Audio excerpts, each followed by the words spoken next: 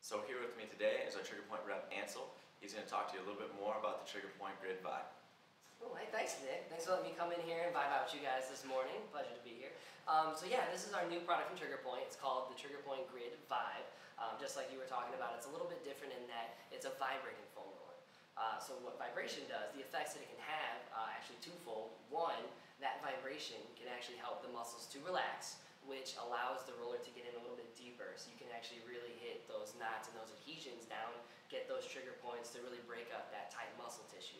Um, but it can also actually help to take away the pain associated with foam rolling. So uh, that vibration actually sends these signals to your brain that uh, kind of tell it to relax and again to help make it just a little bit more pain-free. So um, the roller, one click of the button, starts to vibrate and it actually operates at 33 hertz, which is what we found to be the most ideal frequency in terms of, again, getting that muscle relaxation and, and that pain reduction. So um, yeah, really effective. Again, just help make things a little bit more comfortable and a little bit more effective. So Awesome. So one question for you, Ansel. Yeah. Uh, can we take this on our upcoming vacation? we can absolutely take this on our upcoming vacation. Um, it does have a lithium-ion battery, but the charge is actually a two-hour battery charge when it's fully charged. Awesome. So that is plenty of time to do a bunch of vibing. Awesome.